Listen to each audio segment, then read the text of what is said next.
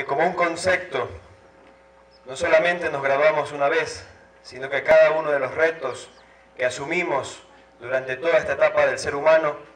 se vuelve una graduación más y que si aprendemos ese concepto llegaremos a esa formación humana que requerimos todos. Querida compañera licenciada Lorenita González, estimada rectora de la Unidad Educativa César Quimís, compañera vicerrectora, inspector general, queridos maestros, maestras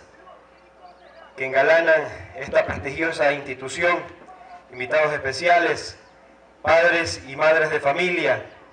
queridos estudiantes que hoy día se incorporan. Permítame expresar en primer lugar el gusto, el placer, las congratulaciones y ese entusiasmo de estar en este magno evento donde celebramos la incorporación de estos estudiantes. Durante toda nuestra vida, cada uno de nosotros empezamos en un andén. Ese andén que no sabemos dónde se estacione y que justamente hoy día, señores padres de familia, hemos pasado durante sin números de pruebas y que justamente el resultado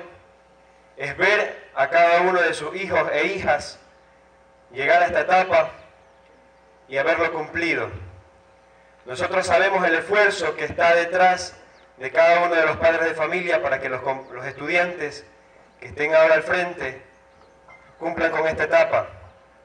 El Ministerio de Educación como tal, la red de maestros como organización de docentes,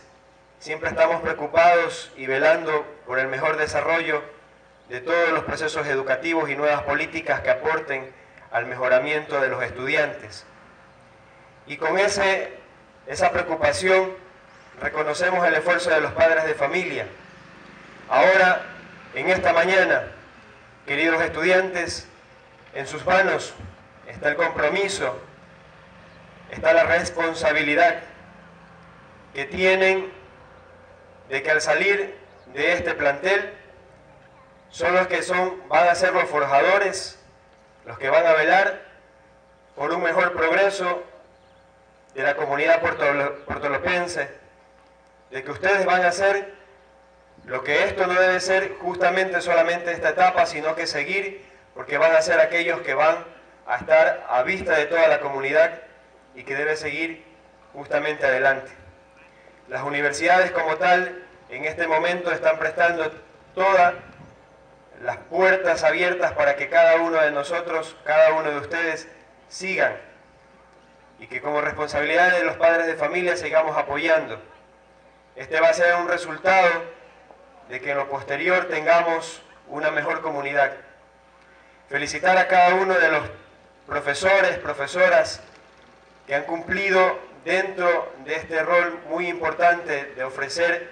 a este cantón, a este prestigioso cantón, 11 bachilleres de la República y también expresar en este día un saludo muy fuerte, afectuoso, por ser el Día de la Mujer a cada uno de ustedes.